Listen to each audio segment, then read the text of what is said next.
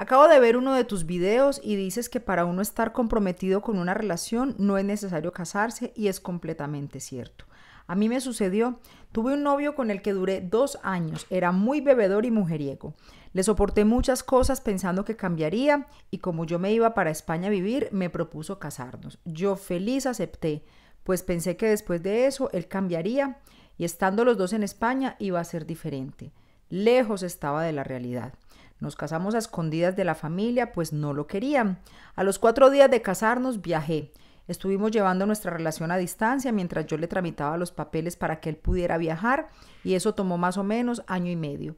Pero al año yo vine a mi país a visitarlo y a compartir con él la Navidad y fin de año, pero cuando regresé estaba embarazada.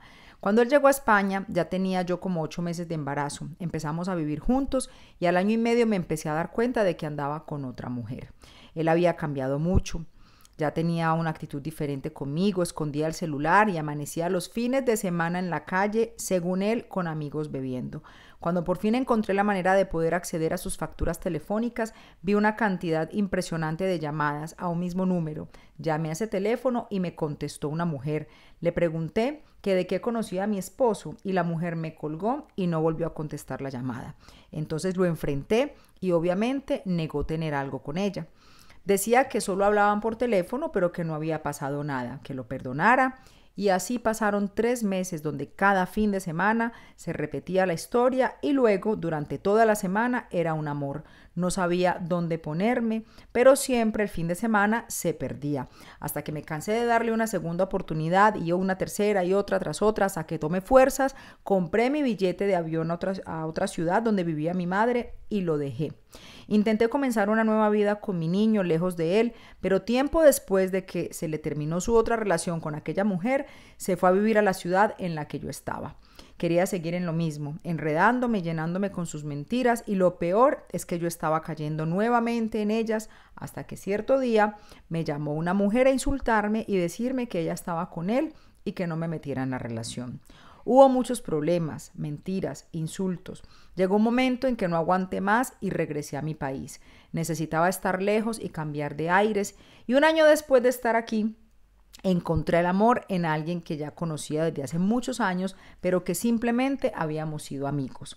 Él da todo por mí y yo por él. Nos apoyamos, nos ayudamos y ahora por fin soy feliz con el verdadero amor de mi vida. Y aunque en algún momento la pasé tan mal, todas esas experiencias me sirvieron para madurar y entender muchas cosas. El amor nos vuelve a llegar, mujeres, dice ella. Aunque veamos todo nublado y sin salida, con el tiempo todo se va aclarando y entendemos el por qué suceden las cosas. Ellos no cambian por mucho que lloren juren y hasta se arrodillen.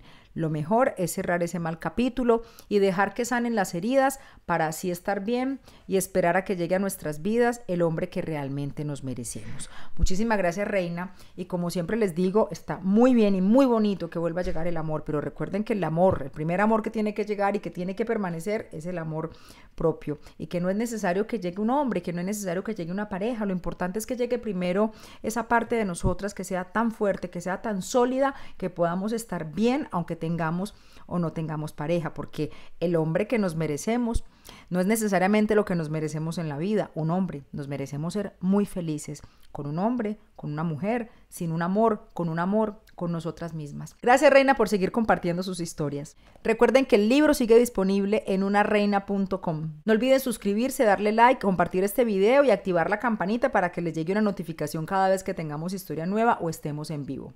Y lo más importante, a seguir desfilando como las reinas absolutas de sus vidas que son, que nunca nadie les quite la corona. Chao, chao.